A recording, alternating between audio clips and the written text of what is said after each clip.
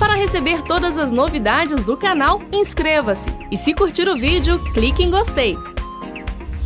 Aproveite para acompanhar a Rede Super nas redes sociais. E falar em semear em boa terra e colher frutos, esse papo agora é um papo que semeia em boa terra, sabe por quê? Semeia em vidas, cuidar de quem cuida. Um projeto que nós vamos falar aqui. Eu estou com a minha querida amiga companheira Janise Pedra. Muito bom dia, seja muito bem-vinda. Bom dia, Carol. Seja bem-vinda também que no delícia. meu coração sempre. Ah, eu, estou bem-vinda. Ô, Janise, onde é que você mora? Que bairro? É, Alípio de Melo. Pois é, não mora lá não, você mora no meu coração. Ah, ah isso eu aprendi com o Serginho. Ah. Ele me ensinou essa e essa eu passo pra frente. Nosso querido José Posidônio. Acertei? Acertou. Ah, que delícia! Vocês representam né? Janice é presidente. E José, qual, a, a, o José, ele é o quê? Ele é administrador, ele coordena de tudo um pouco no Instituto Sumos. Fala pra gente. É, o José também ele é da direção, né? Ele é psicanalista clínico. E faz de tudo um pouco, né? De tudo um pouco. Eu sei, que de faz de tudo muito lá. Ah, todo mundo faz um de tudo um pouco lá. Conta pra gente sobre o Instituto Sumos, sobre esse projeto também, Janise. Tá. É, a Sociedade Psicanalista Sumos de Minas Gerais, ela foi criada com o objetivo de ajudar, né, trabalhar com o povo cristão. Por qual motivo? Porque hoje nós temos várias terapias que não têm uma linha né, cristã. Certo. Então nós colocamos os nossos filhos, é, às vezes nossas vidas nas mãos é de verdade. pessoas que não têm princípios e nem valores cristãos. Não, não, estou dizendo que não tenha princípios, Entendi. mas que não tenha a nossa linha de pensamento cristão. Correto. Né? Porque nós temos uma ética, Isso. que nós chamamos de moral, não é verdade? Então foge a nossa moral cristã. Entendo. Então o Instituto Sumos começou a capacitar pessoas pelo qual ele vai ser instrumento em vidas de outras pessoas. Começamos a capacitar líderes, Entendi. pastores. Mas como que surgiu isso? através de uma criança. Olha, ah, não, né? conta, conta tudo. É, eu comecei a atender um filho de um pastor. Ele falou comigo assim: Janise, por que eu posso vir aqui e meu pai não pode vir? Uau! Por que eu posso falar das coisas que me incomodam e meu pai não pode vir? E o pai era um pastor, um, um pastor, líder. né? Eu falei, realmente. Porque, olha, meu pai atende o dia todo, é. aí ele chega em casa tem que atender minha mãe também. Hum. Porque minha mãe vai contar o caso dos filhos para ele. Entendi. E o pai não tem ninguém para que o ouça. É, olha que, que lindo. o escute, que o ajude nas suas é, nas suas necessidades emocionais, né? Entendi. Eu falei, eu vou chamar o seu pai. E comecei a conversar. Aí começou a surgir essa ideia, gente, por que não escutar os líderes? Não só os líderes cristãos, mas os líderes, as empresas, né, os empresários, é, os professores, a área da educação. Entendi. E começamos a entender que esse projeto, ah, esse projeto nasceu do coração de Deus, através de uma profecia de uma criança. Que coisa linda! Né? Aí nós começamos a formar os nossos cursos. Inicialmente, né, muitas sociedades não aceitaram, porque falar para um pastor, um pastor estudar psicanálise, um pastor fazer terapia, pastor Houve não muitos precisa, preconceitos. Muitos preconceitos, porque estava lidando com uma quebra né, de ah, pensamento. De paradigma e é, uma mudança. É, então, os pastores também começaram a procurar, pois tem situações na nossa igreja que é um adoecimento emocional. Entendo. Todos nós temos uma história. E às vezes a nossa história traz muitas é, dificuldades, traumas, né? que precisamos ressignificar, ao invés de revoltar. É verdade. Né? E eu queria até perguntar, José, como que você vê? Você vê que hoje, ao longo desse período que tem o Instituto Sumos, tem esse projeto Cuidar de Quem Cuida, fala para mim, você tem visto que os líderes estão mais acessíveis ou ainda há muita resistência da própria liderança em ser ajudada, em ser liderada ali naquele momento? O que, que você vê na prática? Olha, o maior desafio que a gente enfrenta, na verdade, assim, é esse pastor chegar até a gente. Ah, então o mais é. difícil é ele conseguir, ele sair de onde está para chegar lá. É, a, o, esse caminho é hum. a parte mais difícil, porque o pastor, na verdade, é, é um ser humano, como a claro. gente. É, todos os desafios que nós passamos, o, o pastor também ele enfrenta. Só que é muito difícil para o pastor, em determinados momentos, ele chegar ali e ele expor isso. Mesmo porque o espaço do pastor está lá para abençoar a vida das pessoas. Então, o pastor ele tem essa carência desse espaço, aquele, aquele pastor chegar, encontrar aquele lugar onde ele possa é, expor aí as suas dificuldades. Então, assim, a dificuldade mesmo é esse momento que esse, esse, momento em que o pastor tira e fala não agora eu vou sim procurar alguém agora eu vou né eu vou Entendi. atrás ele, sumos, ele, entender, ele entender reconhecer e aceitar Isso. que eu preciso uhum. dessa ajuda é, mas graças a Deus Carol que é, a gente nós temos conseguido assim a confiança de muitos pastores muitos pastores têm confiado o seu ministério a, a gente e Deus tem abençoado poderosamente, sabe? Muitas pessoas, é, é, é, como nós conversamos, é, a gente sempre diz assim, a gente fica muito preocupado com alguns ministérios, alguns projetos de alguns pastores e que em determinado momento ele acha que não vai dar conta mais, que aquilo está sobrecarregando ele demais. E aí é quando a gente chega e quando esse pastor chega para a gente e ele expõe que ele já desistiu daquele projeto, nós ficamos muito tristes, né? até consideramos que chegamos atrasados. Mas. Hum, até vocês estiveram na rádio, a gente bateu um papo Sim. super gostoso também na rádio e falamos algo que eu achei muito interessante. Né, uma fala de vocês sobre isso mesmo de chegar atrasado, né? Uhum. Quando um pastor chega, quando um líder chega desanimado, né? Eu, eu vou desistir. É, tem uma estatística que saiu nos Estados Unidos, né? Que a cada dia 325 pastores desistem do seu ministério por problemas emocionais, né? Por estresse, por dificuldade de lidar com sua família. E a família às vezes não aceita que o pastor tem que ficar um tempo delegado à obra de Deus. Então a gente começou a pensar nisso também. É, nós fizemos uma estatística, dos, é, nós atendemos 728 líderes já. Que legal! E, para a glória de Deus, esses pastores é, estão firmes com a sua família.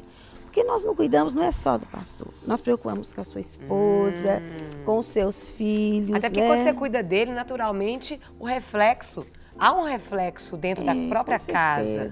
Sim, até o grupo, a equipe dele. Quando você cuida da equipe, dos líderes desses pastores, você automaticamente está cuidando dele e do ministério dele também. Né? Completamente. Né? Então, sim, até o, o, o Instituto Sumos, é, é, dentro dessa visão do, do, projeto, a gente promove aí cursos, seminários, sempre que um pastor precisa de fazer uma reunião, ele precisa de uma de uma, uma fala, uma intervenção mais profissional, procura a gente. Nós sempre estamos ajudando as pessoas, sempre estamos indo lá, conhecendo o trabalho dele, andando e caminhando junto com ele. Porque é cuidar de quem cuida é cuidar daquilo que ele ama, cuidar daquilo que ele acredita, cuidar daquilo que ele gosta, né? Então, isso é muito importante. Uma questão também que é interessante é a gente recebe muitas vezes líderes e pastores que desistiram mesmo do seu ministério. Certo. Qual que é o nosso objetivo? É que ele retorne. Hum. Que ele retorne é, para a igreja de origem dele. Olha. E ele tem que procurar o seu líder, né? É, onde ele estava, onde ele pastoreava, onde ele era líder. Ele tem que entrar é, em contato, fazer o processo da partilha, da comunhão novamente e aprender a lidar com as dificuldades. Porque as instituições têm regras. E as pessoas têm mais dificuldade em lidar com as regras. Como qualquer empresa. Qualquer uhum. que empresa. Você entra, tem é. as regras. Então a gente tenta trabalhar isso com eles e nós temos tido um bom retorno. Entendi. E eu fico pensando, né? Hoje tem mais homens ou mulheres aí nessas lideranças? O que vocês têm visto aí hoje com relação a líderes? Tem mais, porque nós temos um número maior de mulheres do que homens. Mas na liderança, porque as mulheres estão chegando, mas ainda tem mais homens, tem mais mulheres. E quem vai mais ao consultório? quem permanece mais são os homens. Uau! Fala sério, Janice. É. Eles são mais fiéis do que as mulheres? São. Quando eles, amam, eles amam estar no consultório, conversar, falar das suas dificuldades. Homem eles... se abre assim, me conta. Com certeza. Aproveita, conta tudo aqui no Estudo Um Pouco. Ó, você tem pergunta para fazer? 3253-3320. Liga, fala ao vivo aqui. Aproveita que tem psicanalistas de alto nível para poder tirar a sua dúvida. Ou 3209-3301, opção 1. Conta tudo. Os homens, então, eles... Não. E aqui, eles sentem mesmo o homem aquela pedra viva mesmo. Por dentro... Não. Eu estou muito preocupada com essa discriminação, ah. esse preconceito, porque nós temos muito é, seminário para as mulheres. Olha. É, amor exigente, somente para as mulheres, mães órfãos. Ontem a gente interviu num projeto, mãe órfãos, não, genitores órfãos, pais também sentem, homem também tem sentimento, oh, homem ama e muito, né? Homem chora. Chora, compadece né? E fica triste. Fica tri... Eles possuem os mesmos sentimentos. Só que por causa do senso comum, por certo. causa das dificuldades culturais que nós vivemos, as pessoas não dão conta de lidar com isso com tranquilidade, hum. né? Então é um é uma relação que nós temos trabalhado. É congresso para os homens, falar para os homens. E por que uma mulher não pode falar para um homem? Por que uma mulher cristã não pode falar para um homem cristão? É, eu já tive experiência de pregar em congresso para homens. É, eles escutam, os homens são muito receptivos. Brincando. Eu brinquei com ele, falei assim, ó, tranca a porta para ninguém ir embora. É, Mas eles os são homens são receptivos, receptivos são. gostam muito é, e permanecem. São fiéis, assim, à Legal. terapia. Sabe, eles, chegam, eles ligam pra gente assim, olha, hoje é meu horário, sete horas, hein? E por que, que a mulher, às vezes, ela desiste mais rápido, Janise? Porque, às vezes, ela tem uma dificuldade de se expor. A mulher tem Sério? mais dificuldade de se expor ela fala como muito fragilidade. É, as pessoas vivem num processo de que a gente chama na psicanálise, né? É, pouco reativa aos sentimentos verdadeiros, né?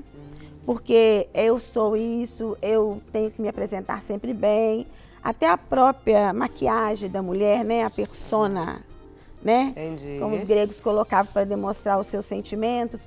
Eles trazem, assim, essa mulher traz uma relação, é, às vezes, com dificuldade de falar, olha, eu sofro na minha casa um abuso, é, é, eu sofro na minha casa essas dificuldades, eu não sei lidar com a administração da minha casa, eu não sei organizar a minha casa, eu tenho essa dificuldade né? E elas têm essa dificuldade de se expor. A parte da sexualidade também e do sexo tem sido uma dificuldade para as mulheres permanecerem no consultório. Sério? em qual sentido? Que elas Porque têm tido dificuldade em permanecer? Os homens, eles têm mais facilidade de falar disso. Né? Menina, Eu tenho tido a dificuldade. Revelações, como diria o Serginho, inconfidências aqui no De Tudo Um Pouco. Não é mesmo, Serginho? Tá ali nos bastidores assistindo tudo. Eu imaginei que a mulher ela tivesse muito mais facilidade para poder falar. A mulher sobre reclama, isso. ela volta a clamar o seu passado, né? Ela reclama porque ela volta a clamar o seu passado, né? As suas dificuldades. E o homem não, ele expõe as suas facilidades e suas dificuldades. Dentro do processo analítico e terapêutico, Carol, é, a gente observa uma particularidade, que a mulher, é, ela tem muitas demandas. Certo. E a, você observa no, nesse processo do acompanhamento que ela, assim que ela vai, que ela resolve aquela demanda, normalmente ela tende a pensar, poxa, se resolveu. Aí aquela conversa também que fala, né, entre homem e mulher, porque o homem, né, ele faz uma coisa só e que a mulher pensa é, de muitas coisas ao mesmo tempo. Aí eu queria pegar essa ideia e esclarecer para você o seguinte: imagina aquela mulher que está com muitos pensamentos e aí ela começa a detectar alguns problemas, algumas, algumas dificuldades. Então ela procura, a gente vai no consultório e quando se resolve essa dificuldade, normalmente tende a ela ficar feliz, está resolvido e vai. E o homem, como, quando ele chega para a gente, ele já traz todo aquele problema que é o maior da vida dele, que é toda a dificuldade e, e, e todo muito complexo assim para ele. Então ele tende a ficar mais tempo, porque em si aquele problema é enorme e ele está ali. E mesmo porque durante isso aí, durante é, é, esse acompanhamento, a gente vai chegando a outras questões também. Então, assim, quando você observa aquela mãe que está com problema enorme com um filho é, é, é, na escola, e aí a gente inicia esse trabalho com ela, arruma acompanhamento para o filho dela também, e quando ela percebe de alguma forma que o menino deu uma melhorada, que os professores eh, Entendi. já começaram a elogiar, ela olha, fica muito feliz, vai, aí pinta outras questões também, acontecem outras questões e acaba ela ficando feliz e, e se resolvendo aquilo ali. O homem, normalmente, quando ele chega no processo analítico, que ele está ali no acompanhamento, ele vem com essa demanda e, a gente, e esse homem vai linkando isso com todas as dificuldades que ele tem. Certo. Então, a, a, daí a gente notar essa, essa presença mais duradoura do homem no consultório que da mulher. E está muito relacionado ao complexo de Édipo, né? As nossas instituições, ah. quer seja familiares, empresariais, é, religiosas, elas são formadas por um complexo de Édipo, Sim. pelas relações culturais entre os pais. Então nós vamos formando, cada religião tem o seu próprio complexo de Édipo. Né? É o que, o que nós trabalhamos na psicanálise com cuidar de quem cuida. Nós intervimos no mal destino, entre aspas, que se fala. O pai tem aquele problema, o filho também tem que ter aquele problema. É o que é, o pessoal né, é, do Ministério de Libertação fala maldição. É e nós chamamos de maldito. Aquilo que é falado para o filho e ele tem uma programação, um registro inconsciente pelo qual ele vai caminhar com aquilo o resto da sua vida. Então, isso vira um mau destino. Aquela família está alinhada ao mau destino. Entendi. Então, nosso, é, a nosso trabalho é intervir no mau Isso. destino, é fazer com que ele possa ter outra direção e ressignificar o trabalho, a vida dele. Entendi. Gente, a gente ficaria aqui amanhã toda. Uhum. Que delícia bater um papo com vocês. Mas voltem mais vezes para falar, porque eu sei que são muitos projetos que vocês têm. Para receber todas as novidades do canal, inscreva-se. E se curtir o vídeo, clique em gostei. Aproveite para acompanhar a Rede Super nas redes sociais.